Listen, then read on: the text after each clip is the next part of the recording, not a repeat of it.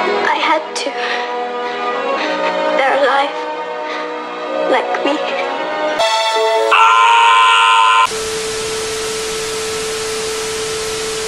How it feels to chew five gum.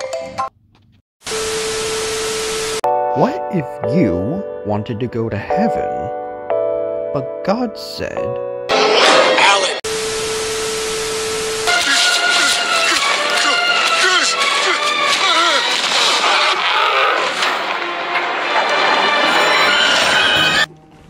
pooped in the peanut barrel?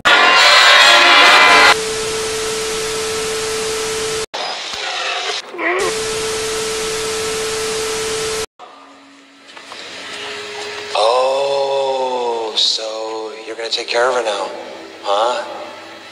You have no idea what she is. What do you think drove Hammond and Lockwood apart, huh? Lockwood never had a grandchild. He just wanted his daughter back.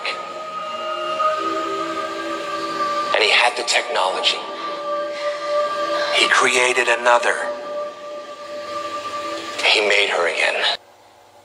I want to go!